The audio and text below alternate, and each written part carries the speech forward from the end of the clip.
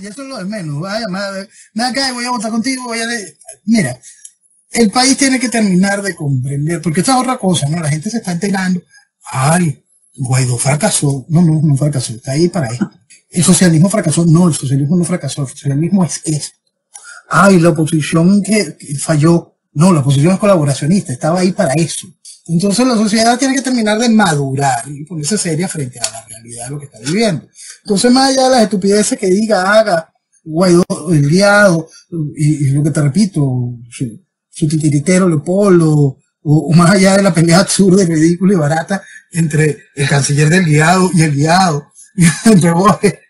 Más allá de todo este festival de estupideces, el país tiene que aprender a entender que todo eso es lo mismo, unirlo y buscar otro, otro, otra vía para reencontrarse como nación. Y esa vía para reencontrarse en la nación falta pasa por mucho de entender esas verdades que hemos estado hablando durante el programa. Entender el increíble daño que se nos ha hecho como nación. Entender el increíble daño profundo que vamos a tener que sanar con emergencias. Entender que vamos a quedar en manos de un gran enemigo interno. Cada una de esas cosas te llevan a comprender que es inviable el juego democrático.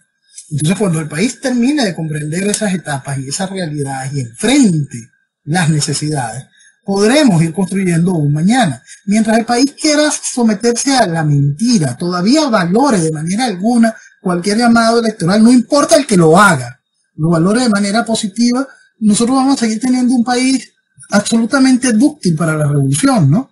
Tenemos una sociedad increíblemente infantilizada, ridícula en mucho, que quiere seguir sumida en la mentira, que cree que, que, algo funciona. El país está en absolutas ruinas. Todos los días hay un nuevo problema dentro del metro. Todos los días la gente rompe las ventanas de los vagones para poder escapar porque algún vagón empieza a echar humo. Y, y, a, ayer se fue la electricidad en la mitad de Caracas, todavía no está restablecida en todos los sectores.